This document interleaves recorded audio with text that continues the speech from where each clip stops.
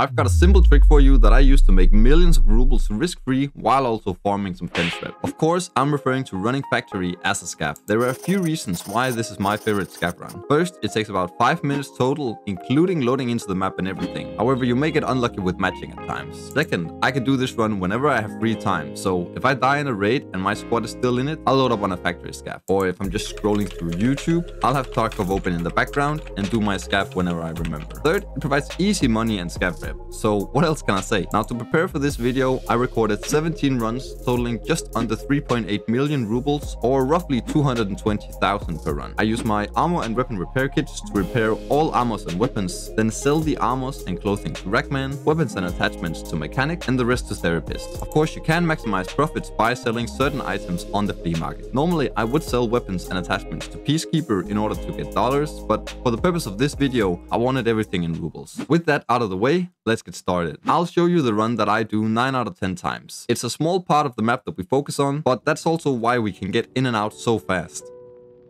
First off, we always check what we have been given. A labs card and a big backpack, you love to see it. So on this run here, we've spawned underground near the postman pad scav. That's a perfect place to start this run, so we're just gonna head up there. Normally, I pick up anything I can hold on these loot runs as is all going straight to the vendor. So you check out the dead scav in here. And come outside for the wooden crate. Over here, you're gonna find a weapon box. Back here, we've got a medical supply crate.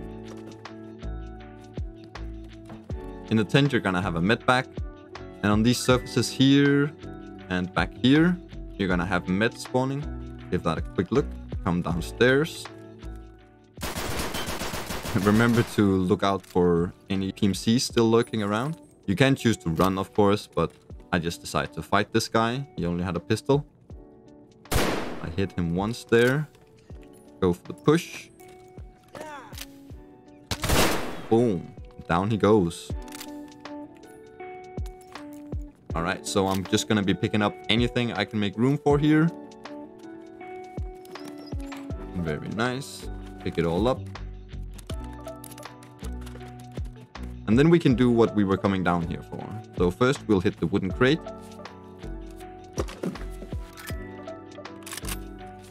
And then at the back here, you're gonna have a technical supply crate. I think he looted it though. Over here, you're gonna have a grenade box.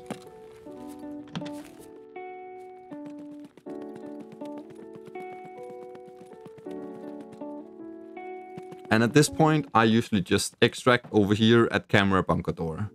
Depending on spawns and what I have on me, I'll occasionally check out these four boxes out here in front of the offices